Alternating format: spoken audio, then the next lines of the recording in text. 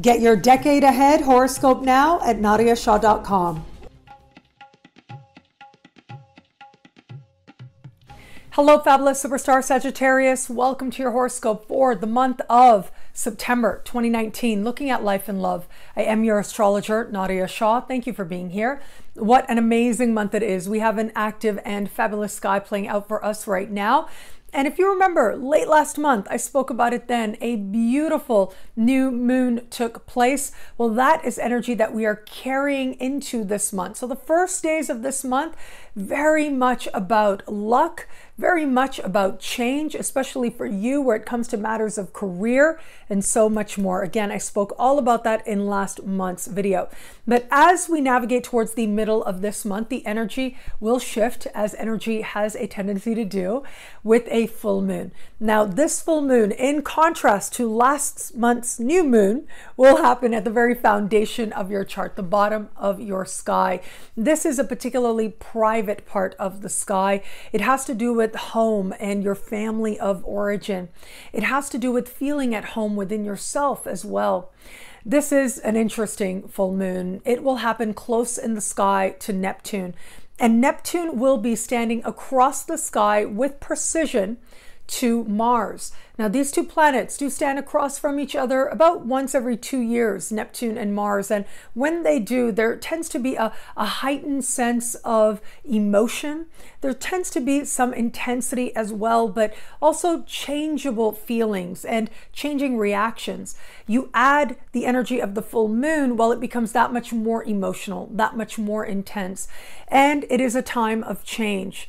Now, as much as Neptune can make things feel ephemeral and Mars will only add to that feeling, we've also got harmonious energy connecting to this full moon thanks to Pluto and Saturn. That will bring about an element of stability. So it looks like things are changing on the home front.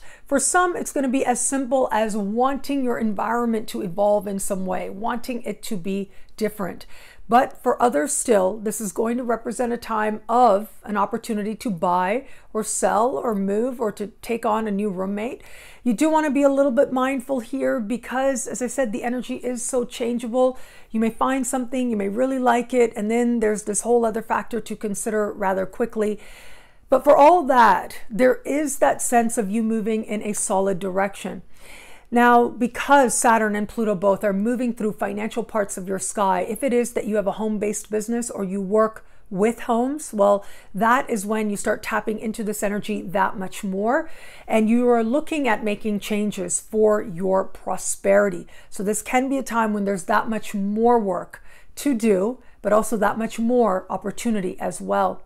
For others of you, this might be a time when you just want to be with your family that much more, particularly your family of origin where that applies. And so, whether it is that you decide to go for a visit, you decide to go home, uh, you decide to connect with your parents where that applies, or where it is that you are reconsidering what home is going to be for you and where home is going to be for you, well, all of this becomes possible under this full moon.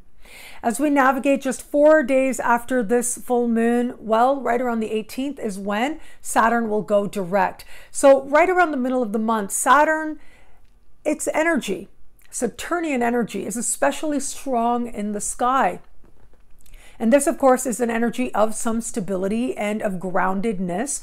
Saturn moving through a financial part of the sky means that you will start to feel as if your finances are moving forward. You are able to understand things more practically, and you are able to feel as if you are gaining momentum in the process. There is a sense now that whether it is financial planning or whether it is implementing strategies in place so that you can create more prosperity for yourself, well, those plans are finally moving forward. As we navigate towards the end of the month, we are going to have this month's new moon. And this new moon will be taking place in a very social part of your sky, a part of the sky having to do with your connections with other people, friendships, group endeavors, uh, professional group endeavors as well are covered here. Wherever it is that you gather with others, well, that is where the focus will be under this sky. Now, this can be especially a powerful time for you because this energy does represent um, a sense of vulnerability and a sense that maybe your friendships are changing, maybe your alliances are changing as well. And that is because this particular new moon is standing across the sky from Chiron. Now, Chiron is one of the most widely used asteroids in modern Western astrology today, and it represents that sense of needing healing or becoming aware of where it is that perhaps there's something you need to address so that you can feel as if you are moving forward. New moons bring uh, new prospects, and so it could be that you're interacting with people who are in some way part of an increased vulnerability for you. So it could be that you are finding yourself feeling insecure and wondering what that's about and why are you allowing that. It could be that these new people are behaving in ways or doing things that are inviting you to look at yourself more deeply and where it is that there's more work to do within you. Well, all of this becomes possible. And ultimately, what this energy says is trust your heart Trust yourself. Know that you are worthy. And if there's work that you need to do on you, thank goodness it's showing up now so that you can address it, and you can heal it, and move forward. Now, what can also happen under this energy is that you attract people into your life who need healing in some way or who act as healers to you. And really, we're all here to heal each other at the end of the day. And that's ultimately what we are here to do. Whether we do it directly or indirectly, whether we do it in our split second interactions with each other to the best of our ability, or whether we don't even intend to, anything can be used to move yourself towards greater love and greater wisdom and awareness of love and wisdom playing out in your life. And that ultimately is healing energy. Now, where it comes to matters of love, the first half of the month, it is Venus moving through the very top of your sky that has you feeling very ambitious in matters of heart and in matters of love. But as we navigate, it is going to be uh, the second half of the month where Venus is going to move into this friendship part of your sky. Now, it isn't just about that. Venus in this part of the sky can be really nice, it can be a, a very sociable energy, an energy where friendship and love mix easily, which is beautiful. However, over the course of the last two weeks of the month, uh, it is going to be Venus that connects with Saturn and with Pluto. Those energies are of tension. Now, thankfully, Venus will also connect with Jupiter in harmony. So it looks like what is transpiring in love is giving you a lot of hope, is giving you a lot to look forward to. However, at the same time, it is love now that may challenge your own sense of uh, connection to your self esteem and your self worth. Now, I want to add another layer to this as well. Don't mix friends with money, especially in the second half of the month. You really don't want to be doing that. Uh, it just looks like that could be a loss. And if you're okay with that, that's great. But if you're not okay with that, then that is something to take into consideration. However, and having said that, where it comes to matters of love as well, be mindful of where it is you feel like you are giving a lot more, being asked to give in a way that you're not sure feels comfortable to you. So if you are open to meeting someone new, well, it is in social situations, especially in the second half of the month, that love becomes that much more possible for you but at the same time, it does look like within those spaces, there may be deeper lessons playing out for you as well. There might be some inner questions as well, whether it is that you want a friend to become more, or whether it is a friend that wants to connect you with someone new. Just know that part of this journey is going to mean healing yourself more deeply. For those of you who are just starting to date someone, if you're just getting to know somebody, this can be a powerful time of insight, especially if you're spending time with this person in the company of others. You'll get to see another side of them, and that in turn will help you to understand whether or not you want to move forward with this person. I wouldn't mix love and money under energy like this, but this can be a meaningful time nonetheless where you are gathering insights, wanting to do fun things together, considering the cost of all of this, right?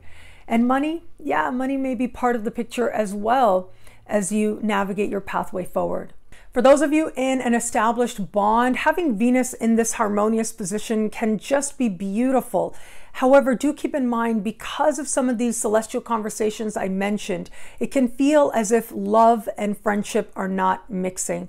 Now. And so, whether it is that you are needing to be present for your partner and need to change plans with your friends, uh, whether it is that friends may have a particular opinion about your partner that uh, not really uh, connecting to certain nuances that are connecting within you and your heart and your unique situation. Well, these are the types of things that can come up under this energy. Now, it's always up to you to decide what's right to do in light of your unique circumstance. But ultimately, why we are with people, what they add in our lives, that is a deeply personal thing. And if it is you that is asked to give your opinion to a friend about what is happening uh, for them in love, well, that's where you may want to be a little bit careful as well, because there might be nuances that you are overlooking at the same time. But for all of that, you and your partner should find yourselves being able to cultivate a healthy friendship at this time, and that can bring forward things within yourself that you like very much. What I love about this month for you, well, look, there is a lot here, but I am going to say I love the energy of success and possibility as you are starting this month. Luck is very much on your side. And it can feel as if things are moving very quickly before the energy changes and asks you to go within. But going within, being quiet, being comfortable with you, there is so much value in that as well. And as your emotions flow, as your perceptions change, know that in the process you are moving towards a greater sense of stability within yourself and a healthy sense of your self worth in the process. Well, thank you so much for watching. You can get a video like this every week by logging on to nadiyashah.com. Sign up to be one of my superstars. Superstars get expanded exclusive video scopes each and every week, unlimited access to special horoscopes and more. All of this in the superstar space. I look forward to meeting you there. It'll be a great month. Enjoy.